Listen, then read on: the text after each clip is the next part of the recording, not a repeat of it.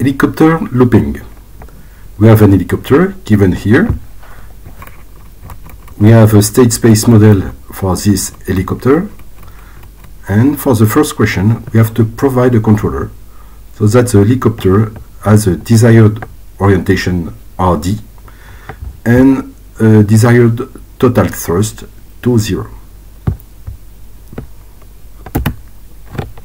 This is my uh, helicopter. It has a main rotor on the top with two, so with a blade, big blade, uh, and a small rotor on the back. So in order to control the helicopter, one can tilt uh, the angle of each blade of both rotor, but we cannot control this one and this one are assumed to be constant. So the main rotor is used uh, to move the helicopter up and down and to make the helicopter tilt forward and backward, left or right. By tilting the blade, we can increase the blade's angle of attack. Uh, the pilot can increase the force of lift, then pushing up on that blade. The state equations are given in the exercise and I put them here.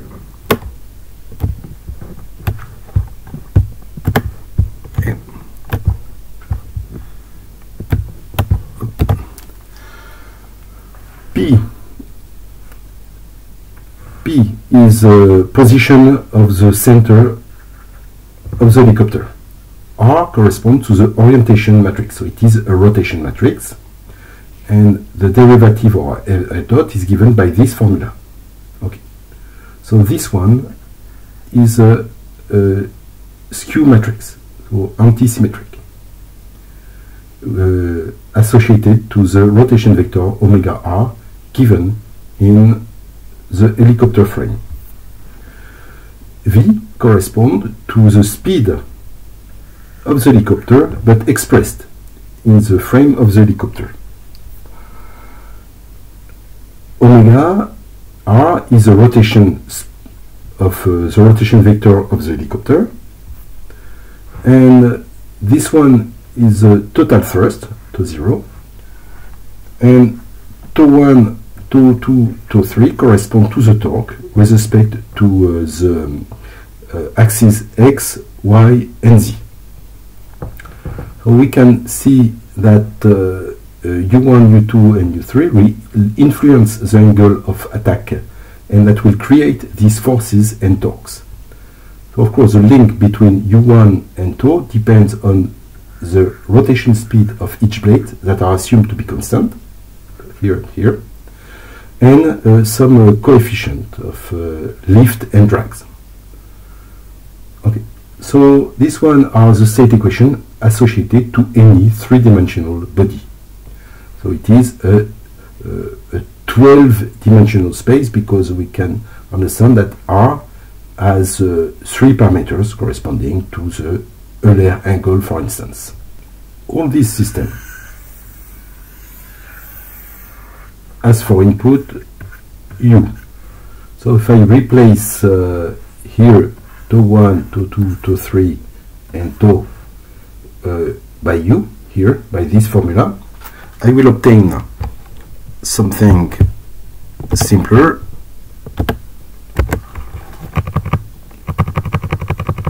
Given by this. Okay so now to 0 to 1 uh, uh, to 1 to, uh, to 2 to 3 do not appear anymore. And I have my system like this.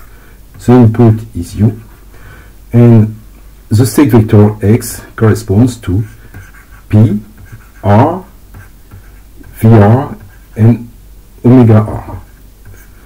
So if I, I can rewrite this system by something like x dot equal f of x and u. So now I need in the exercise to find a controller. I put like this, controller,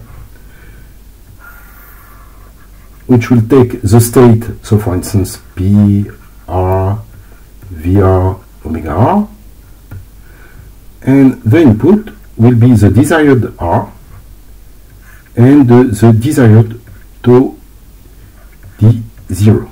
Uh, so it was involved here, is the desired. And the controller has to find you so that the system, after a few seconds, has R equal to RD and to 0 equal to 2D0. So it is a controller I have to build for the first uh, for the first question. But the controller is not allowed to change any state variable inside. To find a controller for my helicopter, I propose to use a backstepping uh, method.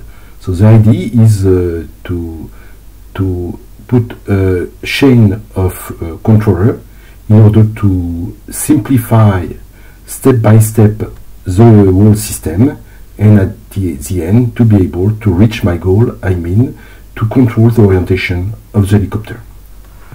So we can see that uh, U is the input of my controller and it is here and I recall that U is linked to, to uh, 0 to 1 to 2 like this by the vector of the tau by this relation. So if I put here a controller just in front of my system with a new uh, with a new input corresponding to tau 0 desired, tau 4 desired, so on, so this one, then I can understand that I would like the simplification, so here, tau, uh, excuse me, the input u is equal to b minus 1 multiplied by the vector 2, where b corresponds to this matrix. So if I put this controller just in front, I will obtain a simplification and uh, this system will uh, so I will be able to replace all this by 2 1 desired, 2 2 desired, 2 3 desired, so it will be simpler. And I will be able to replace to replace this by tau 0 t. So this system has a new input corresponding to these two and we'll have simpler equation. My system helicopter plus the first controller is equivalent to this system where the input I can choose as I want as are T1D, T2D, T3D and T0D. Ah. So since I can choose this one as I want, I will choose it in order to simplify this equation. So for instance, I can put here a block, a new controller, where the input will be omega dot r desired, and here I will put tau 1d, tau 2d, tau 3d, this vector will be equal to, so I will choose it as I, the inertia matrix, multiplied by omega dot rd, so the one as an input, plus omega r vector product e multiplied by omega r. Because if I take this controller, we can understand that I will have a simplification of this one by this one. I will also have a simplification due to this and this, and this block will be replaced by omega r dot. So if you prefer, the system, the helicopter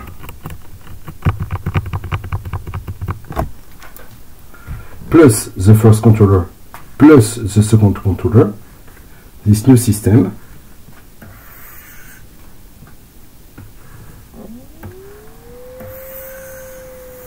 Like this. Will have as an input omega dot d to 0d and this one will be equivalent to this system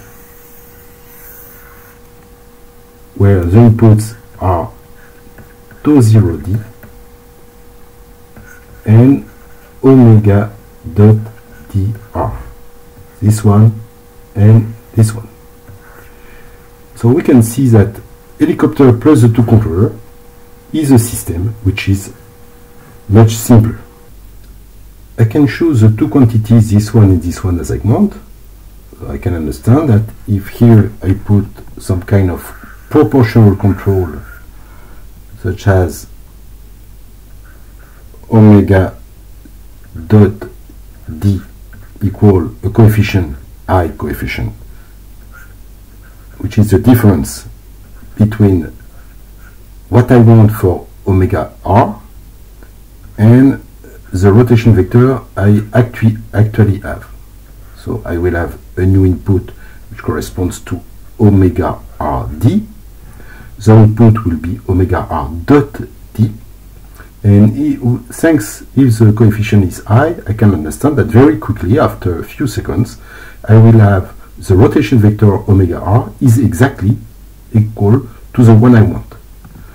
As a consequence, this one is not needed anymore, and I can assume that omega r here will be equal to omega rd, and this one also. So as a consequence, if I take my helicopter here, plus the first controller, plus the second controller, plus the one I have just explained now, I have a new system like this,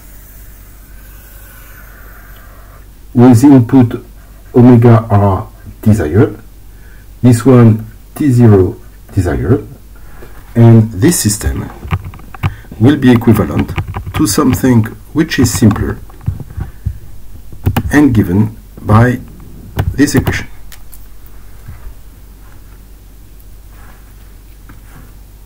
So here I will have omega rd and to 0 d here and here. My helicopter plus the 3 controller is equivalent to this system where I can control this one as I want but what is required in the exercise is to find another controller so that I can choose the orientation I want. RD, the one I want for R. Then I have to compute which rotation vector I have to choose expressed in the robot frame so that R will converge quickly to RD after a few seconds. Okay, so let me recall a few things. Uh, I have here my the set of all rotation which is called SO3 and here is the rotation I have for R and here is the rotation I want so to go from this rotation to this one I have to multiply by R tilde R tilde uh, will be equal to R d multiplied by the inverse of R which is equal to its transpose. So if I uh, want to link it to my rotation vector omega, okay, so rotation, uh, uh, so omega is the rotation in the world frame. Okay. So for this, uh, I have the uh, so omega d because it is a one want. I've called it d. Now I can use the formula of Rodrigues, which tells me that R tilde is equal to exponential to the skew symmetric matrix generated by omega t, denoted by like this. Okay, so this one is a skew symmetric matrix. Uh, I can put in this context, I can use the logarithm, the logarithm of rotation uh, matrix. So the logarithm of R tilde is equal to omega t like this.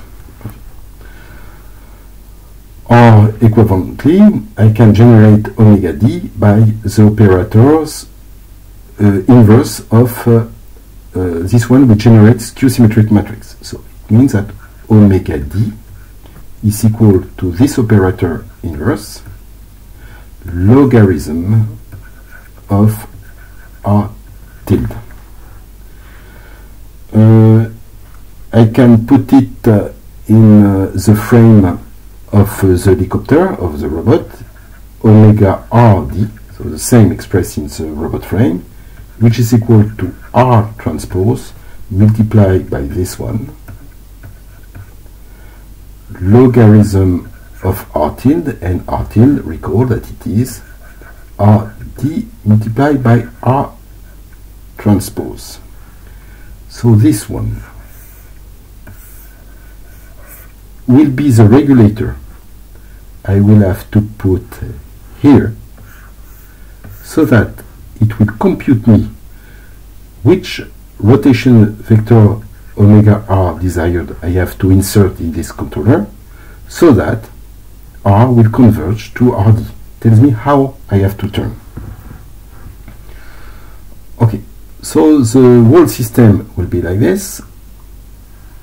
I have my helicopter here plus the three controller and the, the four controller and the whole controller will make me able to control the helicopter. I just have to ask as a set point RD the desired orientation. Here the uh, force I want, uh, the total force I want, and then the whole system will be controlled. So I will check everything by simulation. For the simulation of the helicopter, uh, I propose the following program. I use RobLib. Uh, I tune my coefficient, the mass, 10 kilograms, which corresponds to a small uh, uh helicopter robot. The gravity, the length of the helicopter, 2 meters. Here, the speed of the blades, so 100 radian per second. So you can see that it is constant my lift and drag coefficient given here for uh, the different blades. And this is my, my, my uh, matrix B, which link U to the tau I. Here the inertia matrix. The sampling time for the integration. So I have uh, a procedure to draw the helicopter in three dimensions, given here with homogeneous coordinates. And here the integration of the helicopter. So it takes the state equation. I recall they are given uh, here with uh, input uh, u and here are the state variables. So I will uh, return the state variable uh, corresponding to the uh, input u.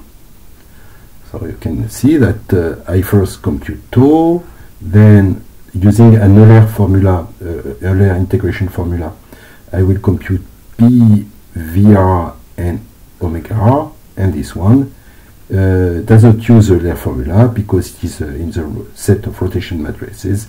It's better to use uh, exponential and the multiplication here. Okay. Now about my simulation program, I initialize the position for my helicopter so recall that I have a minus because z is oriented downward the, uh, towards the bottom. Uh, my uh, orientation, I, here I put something like this, but I uh, take something totally different. um, here the initial speed always expressed in the uh, robot frame and here the initial rotation vector. Here alpha is just uh, for the visualization for the angle of the blades. Now I have my main loop for t going to 0 to 5 seconds and I put a U, it's open loop control, so no control at all. I put something random for U and I will clock uh, the helicopter for the integration and to draw it and here I turn the blades corresponding to the rotation of the blades which are uh, assumed to be constant. I take uh, here uh, the program, I run it. And I see here my helicopter with a main blade and the, uh, here the uh, back rotor also and with the initialization we can see that uh, uh there is no control and it starts to turn like this. It is totally uh, unstable. Okay.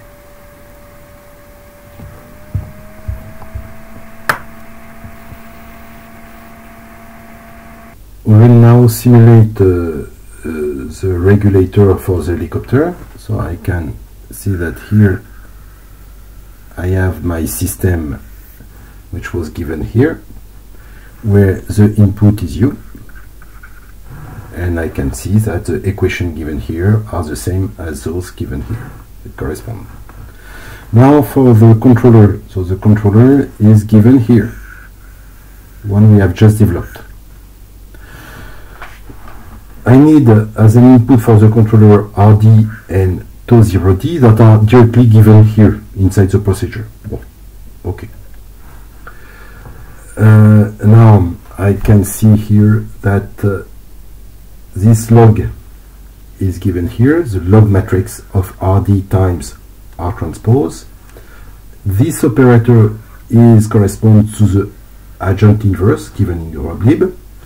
R transpose here and here I have a coefficient that tells me if I want to go fast to, to go from R to RD. Okay. Now these two controllers are inside the same line here.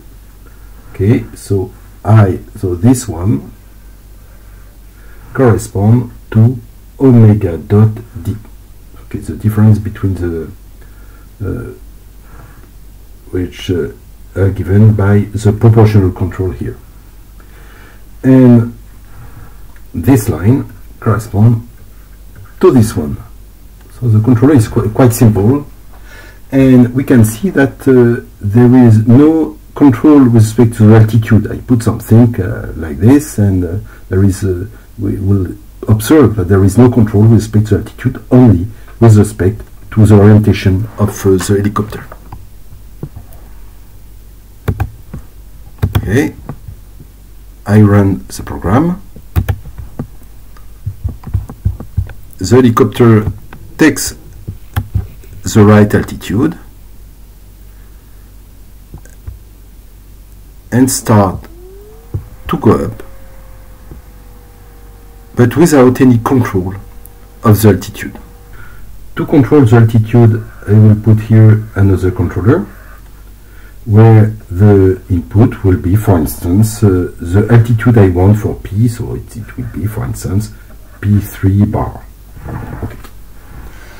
And uh, the expression I can take for this will uh, take a proportional derivative control, so I will take a P3 uh, minus P bar, okay, like this. This is a error. I will take uh, the saturation function such as uh, hyperbolic tangent like this uh, I will put another coefficient in, to generate T0D equal so a coefficient let's say uh, K, uh, K1 uh, I also have to have a, to add a derivative term so I will put another coefficient, k derivative, multiplied by the vertical speed which corresponds to v let's say vr3 which is among the state variable okay so it is the one I will put here. And instead of this I will write this line. This is a proportional and derivative control where I ask for an altitude of uh, 30 meters. I run the program so I take the right orientation.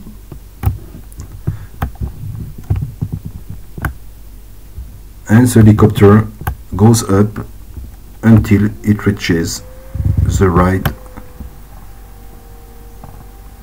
altitude. So I did not put uh, integral term but, uh, but uh, the helicopter will reach approximately the 30 meters it goes forward due to the orientation here which is minus 0.1 which corresponds to the pitch and since it is negative it will go forward. For the last question I have to give a controller for the system so that the uh, helicopter perform a looping such as illustrated by this figure. So we can see that there is two steps. First it goes up until it reach a given altitude okay?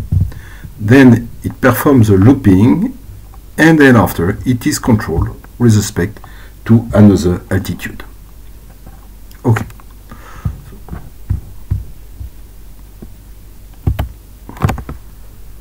So for this I will take my helicopter like this. It start uh, at the altitude so it is oriented downward like this. So here it is z equals 0 and here it is z negative. It is like this when uh, we deal with a helicopter or it's always oriented uh, downward.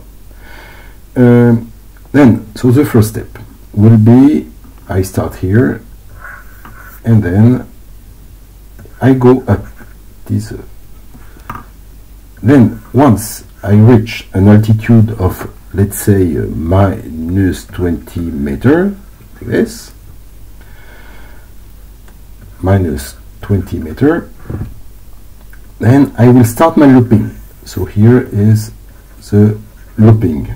And for this I will change the pitch angle and I will put a timer let's say t uh, 0 is a timer. I start the time at t0 once I reach the minus 20 meter. And then I will ask the pitch, desired pitch, to be equal to t minus t0. Okay, so this one will increase and I will take the corresponding orientation. So RD will be equal to the Euler matrix corresponding to a roll angle 0 to a pitch angle equal to theta d, so t minus t0, and uh, to a head equal to 0. So I will take this orientation and I will ask the helicopter to reach this orientation. So we can understand that looping will be done in exactly 2 pi second, if I'm able to follow this uh, desired uh, rotation matrix. Once I have this, once I have reached theta d equal so 2 pi, then I will have a transition and I will have the uh, last step which asks me to have a regulation to the altitude, let's say uh, minus uh, 50 meters, for instance. Here. Okay. What I ask. Okay, so the corresponding controller is here. I have the uh, the, the discrete variable corresponding to q. So when q equals 0, I go up, q equal 1, looping, and then altitude control, q equal to 2. So when q equal to 1, I put uh, the, the main rotor uh, to the maximum, let's say 300. And I stop, I switch to q equal, equal 1 as soon as I reach, here it's written minus 26 meters. Then I start the timer. So T0 is the time at which I reach, uh, I made the transition. And now, when Q will be equal to 1, for the next step, uh, then I don't ask anymore the main rotor to, uh, to go up, so that's why I put 0, but I will ask to follow this desired orientation, corresponds to the Euler matrix, until I reach 2 pi for t minus t0, and then I switch to q equal to 2. So during the simulation, once q will be equal to 2, I will have an altitude control given, given by uh, this uh, proportional and derivative formula.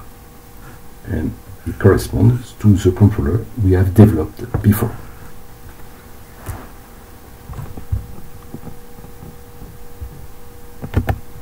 Okay, so this is uh, the program.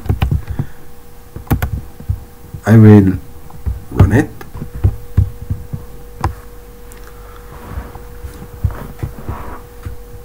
Here q equal to 0. The helicopter goes up. You can see the shadow here in gray. Give a better idea of the altitude. Now q equal to 1 it starts the looping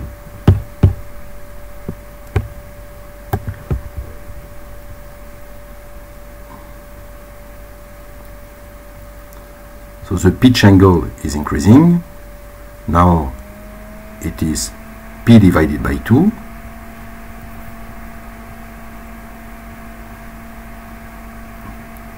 So, due to the fact that it was uh, due to the inertia and the fact that it took a strong acceleration at the beginning, it's still going up, but now it will go down because due to the gravity, the helicopter is falling down. Everything goes slow, but the looping takes something like 2 pi seconds. So we can see that it is now falling down. down. Tau 0 is still equal to 0.